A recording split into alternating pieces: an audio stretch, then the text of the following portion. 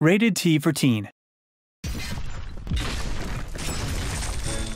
In the beginning, Player created the battlefield. Bountiful armies were brought forth to populate the land. but then Player said, Let there be Boulder. And there was Boulder. It was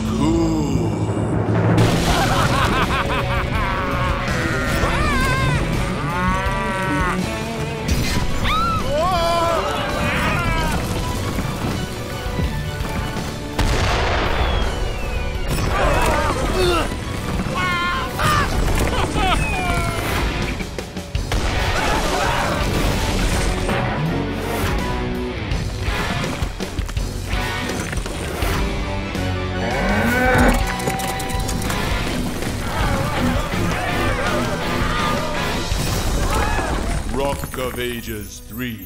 Play the open beta.